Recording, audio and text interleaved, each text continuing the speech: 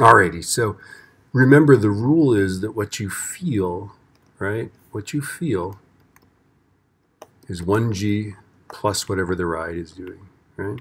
Okay. Now, when they say that they feel 0.8 g is inverted, that means that at the top we're actually we could actually stand. This is like an inverting ride, right?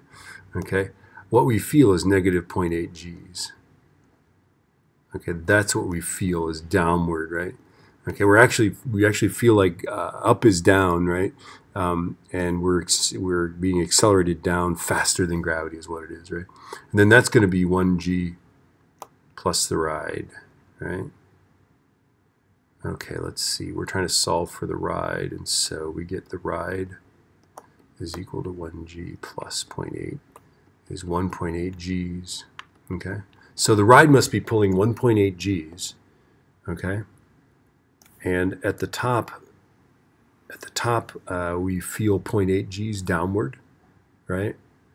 Um, and then at the bottom, let's figure that out. Okay, so let's see, 1.8 g's. Yeah, there we go. Okay, so uh, let's figure this out. So at the bottom, it's uh, it's what we feel, right? Is equal to 1g plus the ride. Right, so 1g, and the ride is, we just figured out as 1.8, is 2.8 g's. Okay, so we feel really heavy at the bottom, right? We're like, whoa.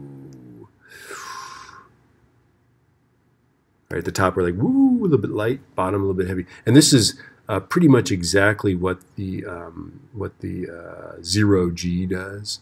Okay, um, and the, the, the data is a little bit hard to interpret. Uh, it doesn't go negative, and that's because the, you hold onto a device, and here the device is pointing this way, here the device is pointing this way. Okay, so it just stays positive is what it does. But you can see the difference between the magnitudes of this, of the 0.8 and the 2.8. Okay, uh, it inverts this guy and keeps it positive because because the ride is upside down, right? Um, and the zero G is that ride that's just like a big drum, and they tip it up on end, and you like you're you're hanging on. It's it's pretty cool.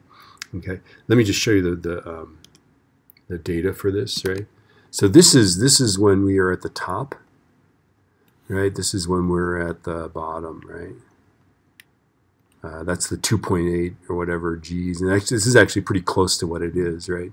This is our, our roughly 2.8 Gs. This is our 0.8 Gs or something like that. A little less than a G. A G is around 10, right? 9.8. Okay. And then this whole thing here is they spin it up while it's level and they start to tip it and you're like, oh, I shouldn't have ridden this ride. Mr. Dugan was, if we average this, by the way, uh, what, do we, what does the average mean? I'm not smart enough to figure that out. I bet it means something. Hmm. Is the average the acceleration? Would it be? guess it would be, let's see, 0.8 plus 2.8. Yeah, that's the acceleration of the ride if you average it. Duh. Okay, good enough.